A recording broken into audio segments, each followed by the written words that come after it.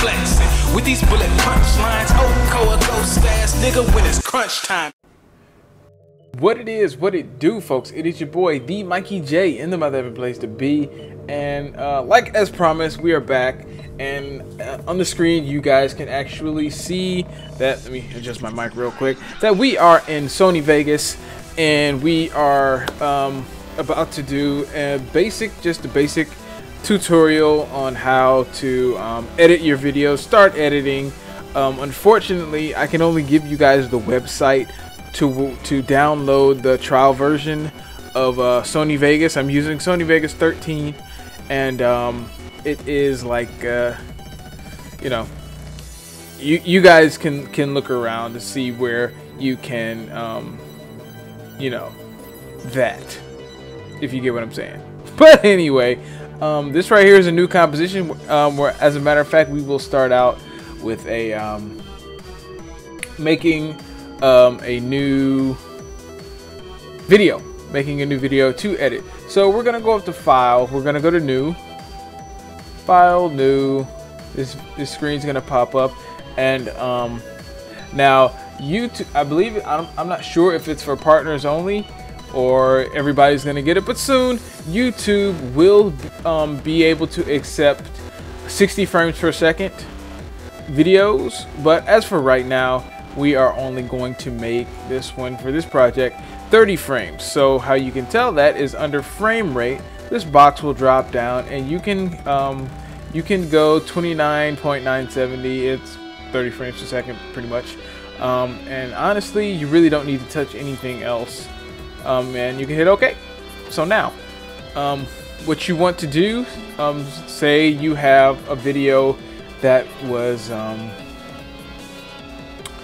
recorded in uh, OBS, and so you go to your, you go to File. We're gonna click File, and we're going. What do I do? I do that every time. We're gonna File. We're gonna go to Import, and then we go to Media.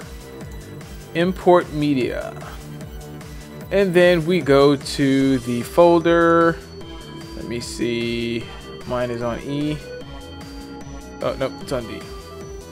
Go to your folder wherever your videos are recorded. And um, I am actually just going to open up this little showdown battle. Not bad. Not bad at all. Alright so now that is going to show up in your project media folder right there where you just seen that light up so this is your project media folder. So let's say um, you also have an intro. We're to put our intro in it as well. So we're going to import, uh, let's find my intro. I wonder where that is. I think it's on my desktop somewhere. Uh, it's in the Spotlock folder, I believe. Yep, new intro. All right, so find your intro, and then we've got um, the actual footage. So what I'm going to do is I'm just going to click it and I'm going to drag it down to the timeline. Um, do you want to set your project video settings to match this media? Most of the time you're going to say no because you've already set up your project settings and you want it to stay at that 720 um, 30 frames per second. So hit no so it'll stay at 720 and all that kind of stuff. Um, right now, now as you can see there are two little rows that just popped up. So this right here is what's called um, your video track and then you have an audio track. So this is where you edit your video and your audio. Um, this is pretty basic. Um, I'm basically going to show you how to do two things today. One is render um, and two is a transition. How you see how, how, how my screens fade in and out and stuff like that. That's what I'm going to teach you guys how to do today. I forgot, I totally forgot to tell you what we were going to learn. But anyway, this is just a basic tutorial, so it's it's nothing major. It's pretty simple. Um, I'm also, uh, you can either put it on a different track or you can put it on the same track. I usually put them on different tracks, and I will show you guys how to do that. Um, so with your actual video file, uh, drag it and I will drop it down to you see how um, the the track that you that you've got in your hand is is kind of highlighted I'm not sure if it's real able to see uh, real easy to see on the video but you can drop it below those two tracks and then another set of tracks will fall below. Now, when I was recording this in OBS, um, this, as you guys can see on the video screen, that the um, I had to resize in mid video. So what I do to cut that out is I'll play it. Um, spacebar is your friend in um, Sony Vegas. Hit the play button and then, yep, see I'm resizing and I hit S. Now, what S does, just plain old S, not anything else. Um, if you hit S, it will chop the video right there at that point. So that will make it able to slide apart from that. So, and what I do, I can click on the part that I don't need and hit delete. So, and that's gone. So what I'm gonna do, and sometimes, and most of the time, if your um, Sony Vegas is set up uh, just default, you'll slide it to the left and you'll see that blue line, that the blue dotted line, and that means it is um, pretty much synced um, where your other clip ends, and that's when this new clip begins. So, all right, so let's let's let's roll that beautiful beam footage. Man, I stay with these bullet punch lines. Oh, coa ghost ass nigga when it's crunch time. and then that pops in. Now, do you see how that just immediately popped in? So, oh, and one more thing, one more thing. All of your videos, this is my biggest pet peeve. All of your videos, all of them, you must disable resample. If you do not disable resample, you will get like a ghosting type effect, and it annoys the hell out of me when I see videos like that. I'm like, please go and disable your resample. Please, I beg of you. But here's how to do that. Here's how to do that. It's very simple, very easy, very quick. Um, you right click on the video, go to switches. This little menu is going to pop up. Disable resample. It is simple as that. Now, um, hit play. Now you see the ghosting effect is gone. It's nice, it's smooth, and it's clear. You don't have to do any of it. It, it looks beautiful. It's it's a beautiful picture. So we're gonna stop that. Um, now for the last part of this tutorial, we're going to add in the transition from the intro into the actual video. Um, so what you want to do is you want to click on transition. Now I usually use flashes. Um, you can use pretty much anything. So let's go to a slide. So let's see, I'm gonna slide in from the bottom up. So what I'll do is I'll drag this and I'll put it right on the very edge of the video to where you see the plus sign up underneath your mouse cursor. So and then unclick and that little thing's gonna pop up pretty much.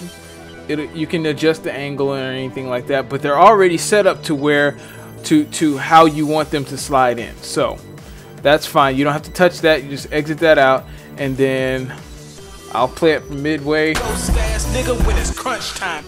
and now you see it slide up. That's pretty much it.